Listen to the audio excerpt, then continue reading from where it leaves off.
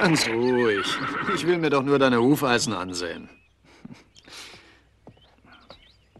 Ja. Ja. Jody! Julia, kläff mich gefälligst nicht so an. Schließlich bin ich dein Herrchen. Sie denkt wahrscheinlich, du hättest wieder mal gespielt und deswegen deine Arbeit liegen lassen. Ach, lass mich in Ruhe. Du nervst mich mit deinem Gebell. Warum kümmerst du dich nicht um deinen Kram? Jody, wo bleibst du denn nur? Du hast noch nicht mal gefrühstückt. Naja, ich war... Komm, Jody, sonst fahren wir ohne dich los. Wo fährst du denn hin, Pa? Ich fahre in die Stadt, muss ein paar Sachen besorgen. Unterwegs werden wir bei Frederik anhalten. Hey, Ma, wo ist mein Frühstück? Ich fahr mit in die Stadt. Also, Jody, schling doch nicht immer so. Du hast schlechtere Manieren beim Essen als Julia. Ah, vergleich mich doch nicht immer mit dem Hund. Wir können jetzt los, wenn du soweit bist, Junge. Ja, ich bin Jody, fertig. Ich... Julia setzt dich auch nicht immer hin, wenn sie frisst. du bist aber kein Hund wie Julia. Ach, aber eben hast du mich noch mit ihr verglichen. Bäh. Du sollst nicht so freche Antworten geben, Jody. Penny sorgt dafür, dass der Junge sich anständig benimmt. Da werde ich schon aufpassen. Ich werde ihm unterwegs mal ins Gewissen reden, Schatz. Verwöhn mir den Jungen nicht so. Sag mal, Penny, musst du denn wirklich heute bei den Foresters vorbeischauen? Wenn ich's heute nicht tue, überlegen sich die Foresters vielleicht anders. Du weißt doch, die sind zu stur, um ihre Meinung zu ändern. Was hast du gemeint, Ma? Ich habe deinem Vater gesagt, wie er einen besseren Jungen aus dir macht. Aber ich bin doch jetzt schon ein ganz guter Junge. Lass uns fahren, Junge. Juhu! Passt auf euch auf, ihr beiden. Und Jody, benimm dich anständig. Haha, Julia, du musst hier bleiben. Bäh. Bis später, Julia. Ach, Pa, worüber habt ihr eben geredet? Sagst du mir das? Deine Mutter und ich möchten für dich und Frederick eine Lehrerin einstellen, Junge. Wieso denn? Du willst doch was lernen, oder, Jody? Ach, das weiß ich noch nicht so genau, Pa. Wäre das dann nicht genauso, als wenn ich noch eine Mutter hätte? Noch eine Mutter? das ist gut.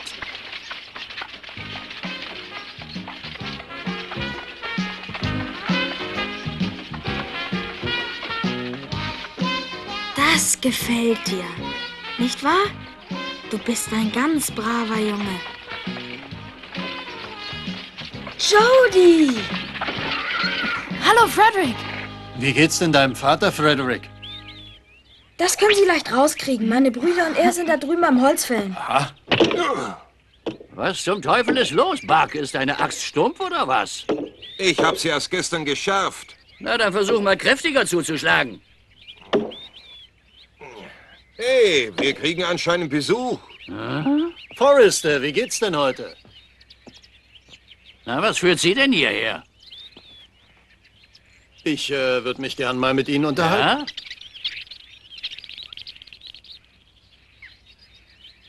Ja? Hä? Willst du damit sagen, dass du eine Lehrerin haben willst? Mhm. Es gibt eine ganze Menge, worüber wir noch nichts wissen.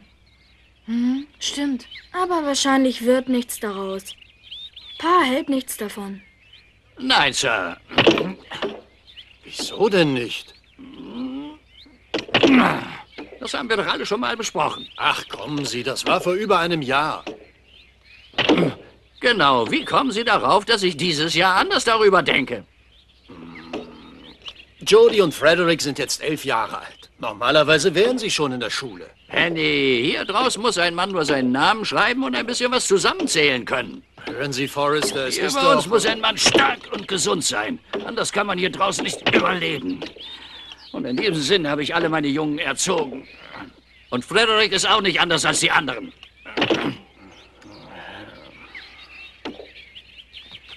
Leim? Du meinst das Zeug, das man für Holz und so braucht? Genau. Hier, nimm das Geld und kauf davon so viel wie möglich.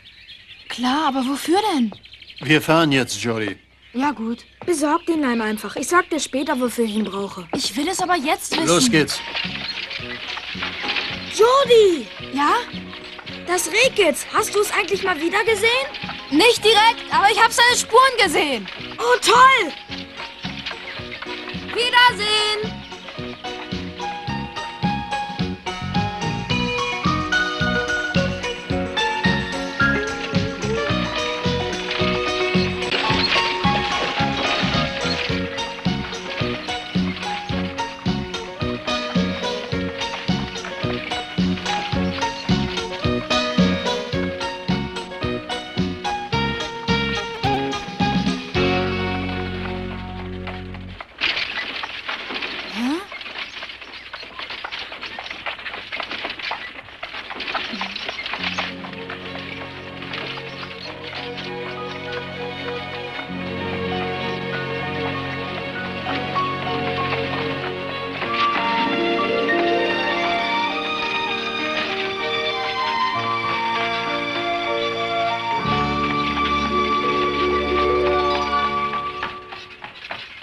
Was ist denn los, Jody?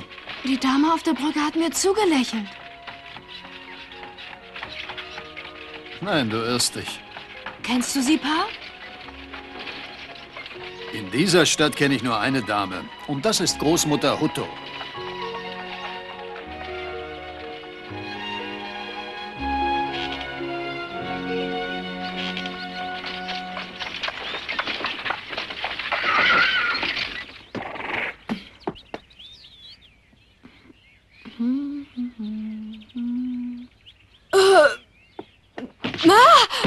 Mach keinen Narren aus dir.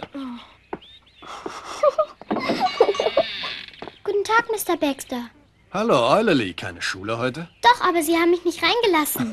Wie geht's, Mr. Baxter? Ungewöhnlich, Sie an einem so schönen Tag zu sehen. Womit kann ich dienen? Ich glaube, meinen fleißigen Sohn kennen Sie bereits. Wie geht es, Sir? Sehr gut, Jody. Fangen wir mit den Lebensmitteln an, ja? Ja, gerne. Als erstes brauche ich Kaffee und Salz. Ja, gut. Sonst noch Mal etwas? sehen. Weshalb lachst du denn so blöd? Tut deine Nase noch weh, Jody? Du hast die Schule geschwänzt. Also sei du bloß still, Jody. Du schwänzt doch jeden Tag die Schule. Euleli, wenn du kein Mädchen wärst, würde ich dich jetzt verhauen. Und wenn du kein Kunde wärst, würde ich dir die Augen auskratzen, Jody. Ha, ich bin aber ein Kunde. Siehst du? Ach, du willst wieder Süßigkeiten. Willst du diesmal rot oder blau eingewickelte Bonbons? Oder lieber Ich will? Leim. Du willst Leim? Aber Jody, Leim kann man doch nicht essen. Habe ich etwa gesagt, dass ich ihn essen will? Ich soll ihn für Frederick besorgen. Frederik? Kein Wunder. Hätte ich mir denken können. Du kaufst ja sowieso nur Süßigkeiten. Hm. Also mal sehen. Wo haben wir denn den Leim?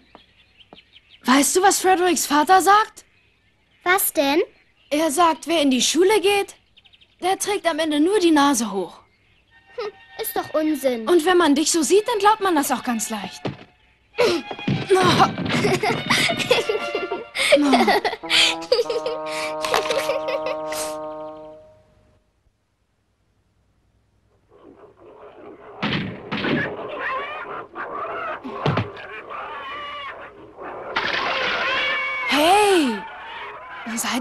gierig.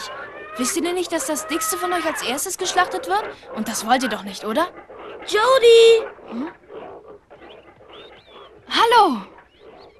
Hey, Jody, hast du den Leim bekommen, ja? Ja, Euleli hat ihn uns günstig verkauft. Die findet dich toll. Ein Waschbär ist mir lieber. Ja, aber zerkratzen können dich beide. Oh, hallo, Julia. Mich bellt sie immer nur an und dabei bin ich ihr Herrchen. Jody, wo willst du hin? Ich hol was für Frederick. Vielen Dank, Jody. Willst du mir nicht verraten, wozu du den Leim brauchst? Äh, äh, mein Vater arbeitet auf dem Feld. Na gut, komm mit. Komm hier rein. Mehr bekommt ihr jetzt nicht, ihr Vielfraße. Na, Schweine. Sieh mal, so etwas will ich mir bauen. Die willst du bauen, Frederick? Aber, aber das sind ja Flügel.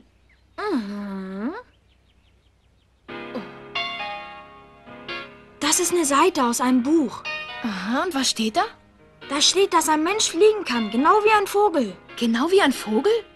Das will ich ja rauskriegen. Mann, in Büchern stehen wirklich tolle Sachen drin. Ja, und viele Dinge, von denen wir nichts wissen. Das riecht ja nach Petroleum. Das kommt, weil Eulelis Vater es nimmt, um etwas einzuwickeln. Ach, das ist also Einwickelpapier. Hey, Jody, du hilfst mir doch dabei, die Flügel zu bauen. Na klar, auf jeden Fall. Jody! Bist du mit der Arbeit fertig? Sieht so aus, als könnte ich dir jetzt nicht bei den Flügeln helfen. Ach, macht nichts. Dafür brauchst du auch morgen nicht mehr zu arbeiten. Wieso nicht? Weil es regnen wird.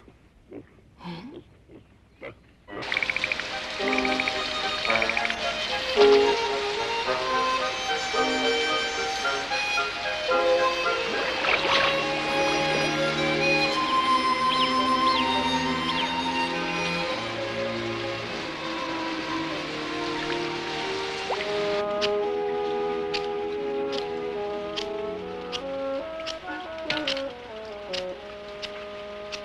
Das sieht ja toll aus, Jody. Ich habe viel Übung bekommen, als ich meine Mühle gebaut habe. Deine Wassermühle wird ja heute ganz toll laufen.